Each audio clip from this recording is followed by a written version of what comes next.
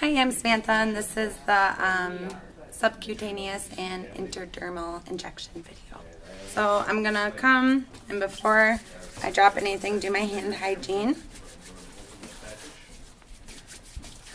I pull out the drawer of the med card and check my name, William Smith, against my MAR, William Smith.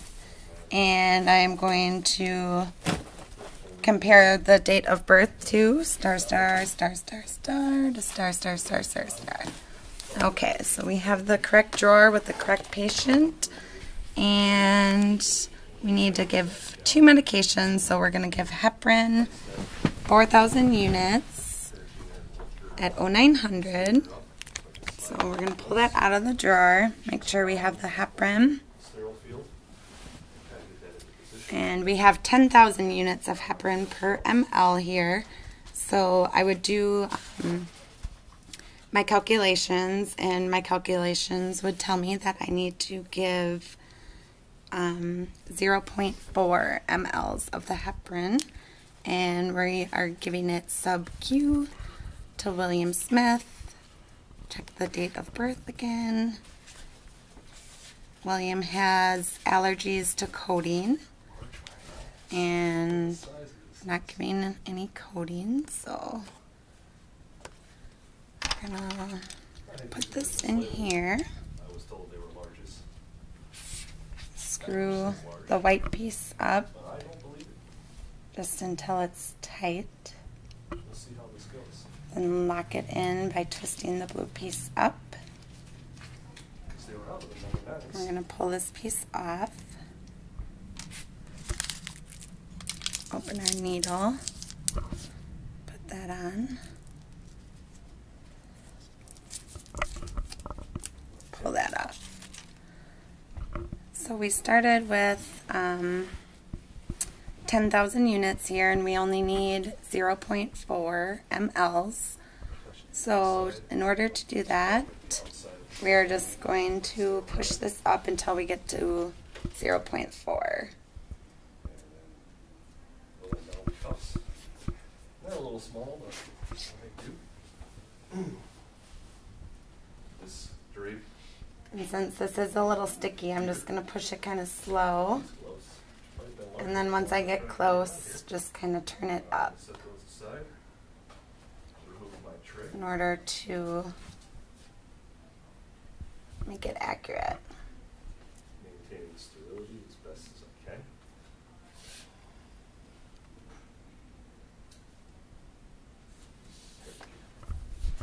I've done it so many times now, I'm forgetting steps that I've done and haven't done. Okay, so then we have that at 0.4. You wanna go again? I'm just going to use the scoop method for the cap.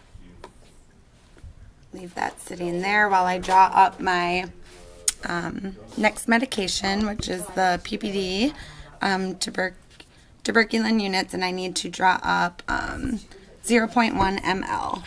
So I'm going to take this tuberculin syringe and pull my cap off. And then um, using the medication, I would draw it up to um, 0.1.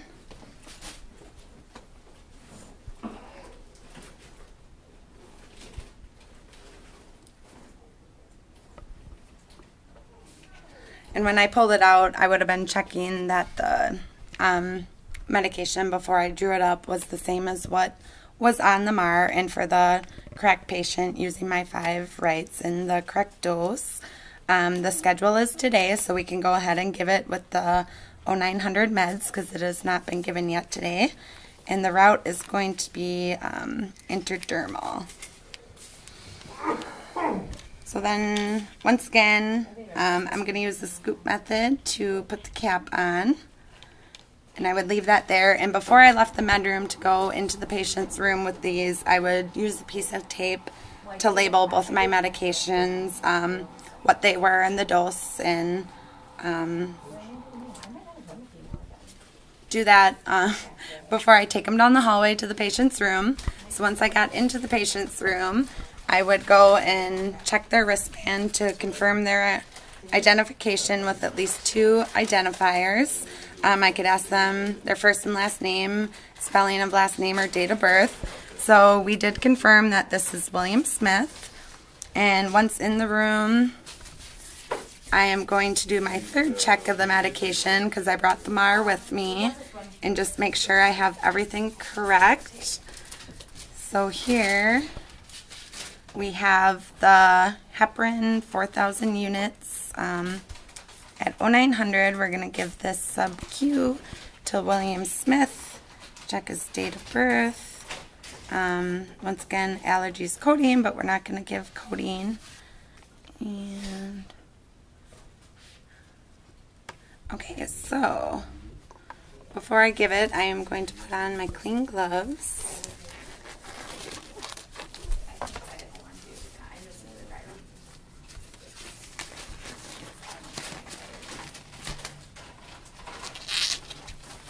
Take up, put some gauze here in case I need it. And alcohol the site where I'm going to give the injection.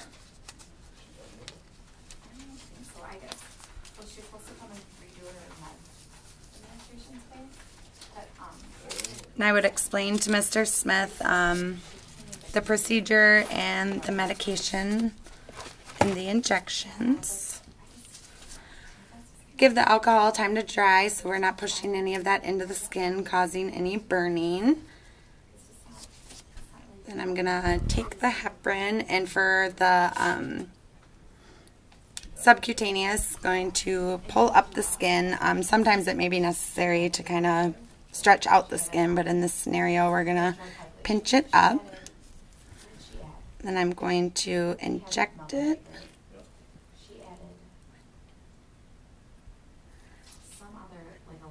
Kind of inject it at a 45 degree angle. And then push it in. Pull it out and release the skin. Once again, I would use the scoop method to put the cap back on, which is running away from me at the moment.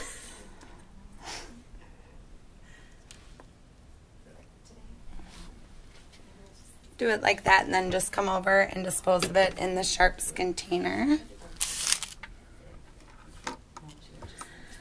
Then I would move on to the, oh, that cap is supposed to be on. Oh, yeah.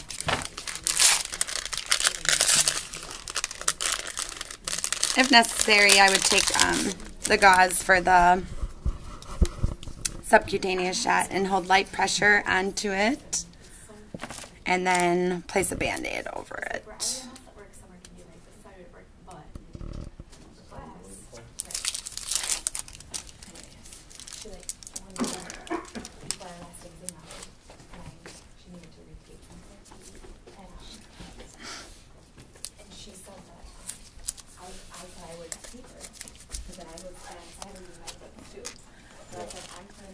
Then for the intradermal, also going to alcohol the skin and allow it time to dry. So once it was dry, then I would take my needle, pull the cap off. I'm gonna stretch stretch the skin. I'm actually gonna go over here where it's not as wet. And go in at about a five degree angle just right under the surface of the skin. And inject it. And hopefully we would be getting a wheal. Pull it out and release the skin and then we're not going to place any pressure or band-aid over the intradermal. Once again use the scoop method for the cap and dispose of in the Sharps container. Remove the gloves, throw away all the garbage, and use hand hygiene. And that is it